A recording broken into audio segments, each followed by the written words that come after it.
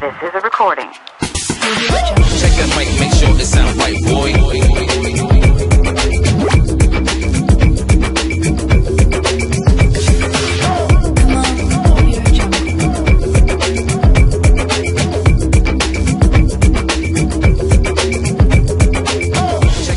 Hola, muy buenas, soy Ulan Marinov.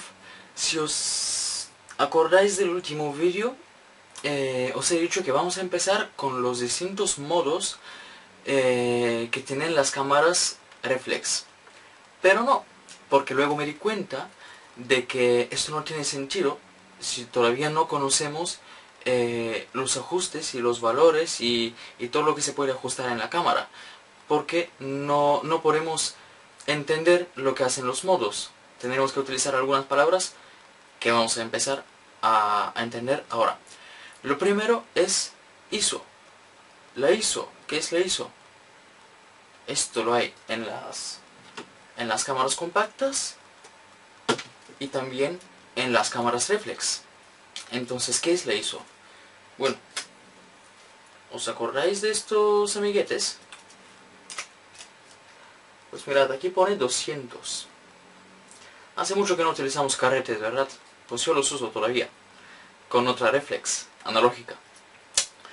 Pues, mira chicos, aquí pone 200. Este carrete es de ISO 200. ¿Qué significa esto? Pues significa que la sensibilidad de la película es eh, tiene un valor ISO 200. El valor mínimo que se suele utilizar es ISO 100 y en los carretes como mucho, como mucho, mucho, mucho llega a, a 1600 me parece. Que 1600 es muchísimo. Bueno, eh, ¿qué tiene que ver eso con la fotografía? ¿Por qué ISO? ¿Qué hace, qué, hace la ISO? Pues mirad, la ISO lo que hace es, eh, como ya os he dicho, es la sensibilidad de la película. O sea, la, rapidez con la que la, la película eh, puede coger la luz y- y guardarla. ¿Y qué tiene esto que ver con las cámaras digitales? Pues mirad, los sensores también son, tienen una cierta sensibilidad, pero esta sensibilidad en los sensores de las cámaras digitales se puede ajustar. ¿Y por qué lo vamos a ajustar? ¿Qué tiene que ver? O sea, lo ponemos en, en la sensibilidad máxima y que, y que haga siempre buenas fotos. Pero no, la verdad es que no. ¿Por qué? Porque las mejores fotos salen con una ISO más baja. O sea, si, si tú haces una foto con ISO 100 y luego una foto con, mis- con ISO 1600, pues en la foto de ISO 100 vas a ver los colores, eh, el contraste y todo muy bien. Y en la foto de, que está hecha con ISO 1600 vas a ver, eh, se llama ruido, son puntitos que más que nada se notan en las cámaras compactas cuando por ejemplo la ponemos en modo de noche o de o modo de estabilizador de imagen que esto es una tontería porque lo que hace es simplemente subirle ISO entonces eh, las fotos no se quedan borrosas y cómo es que no se quedan borrosas pues ahora os lo explico o sea quedaos con esto que con 1600 o una ISO alta se queda la foto pero ah, no, no, no queda borrosa, pero con mucho ruido. ¿Por qué? Pues porque cuando la sensibilidad es más alta, la cámara necesita menos tiempo para hacer la foto. Y en menos tiempo, pues el movimiento que puede ocurrir en una persona, por ejemplo así, eh, al hacer la foto en menos tiempo, el movimiento se re- reduce y no queda la foto borrosa. Pero existe el ruido. Por otro lado, ¿por qué no hacemos las fotos entonces siempre en ISO 100? Pues porque salen de muy buena calidad, pero por poco que se mueva algo, pues ya sale, borroso. Y eso no vale. Bueno, pues yo recomiendo, cuando es posible, pues siempre hacer fotos en ISO 200. ¿Por qué? Pues porque no es ISO 100, no es la más, la, mejor calidad y la, la, la ISO más baja, o sea que no te van a salir las fotos borrosas, pero o sea, es, un, es el punto perfecto de equilibrio entre buena calidad y, seguridad de que no te va a salir la foto borrosa.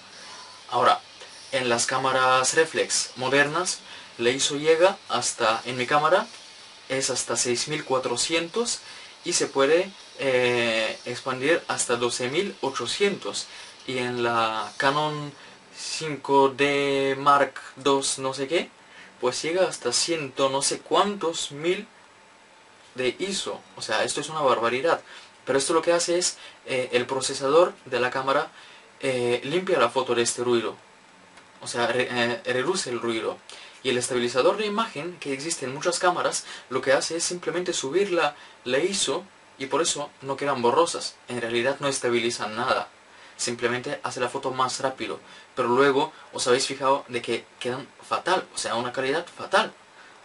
No, o sea, no la puedes ni imprimir ni nada porque no vale para nada esta foto. Y, y, más que nada, si queréis hacer unas fotos buenas con una buena reflex, no os podéis permitir esto. O sea, a mí me ha pasado, pero me ha pasado porque la, primera reflex que tenía era de, baja calidad y, sí que salía muchísimo ruido. Luego cada foto la tendría que editar en Lightroom y reducir el, nivel de ruido.